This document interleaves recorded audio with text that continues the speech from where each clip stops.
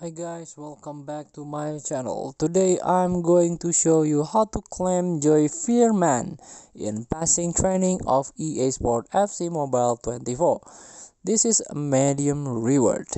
Before we start, I made this video for beginner new into this game, still confused how you can challenge the event, how you can complete the quest so you can get ton of reward from this game. Let's get started.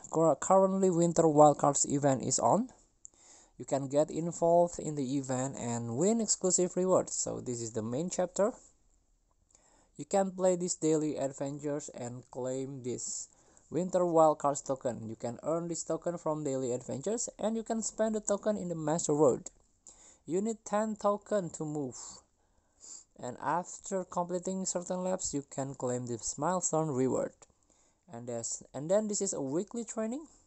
So there are total five courses. One course per week. So in this week is passing training. Tap to go. And there are total three stages easy medium and hard. So i want to show you this. You can claim this medium reward too. Joey Veerman. Uh, from netherlands with ovr 88 and stride is good heel to flick push up final shoot long passer long shot tracker playmaker and also outside full shoot so it's quite good. Still young 25 netherlands and play for psv eindhoven. So let's claim the reward.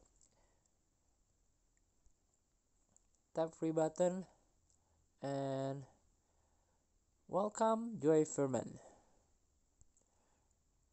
so you can claim this Veerman if you success in the easy stage and then medium stage. So thank you for watching. Don't forget to comment, like, and subscribe. So click thanks button below. Enjoy the game.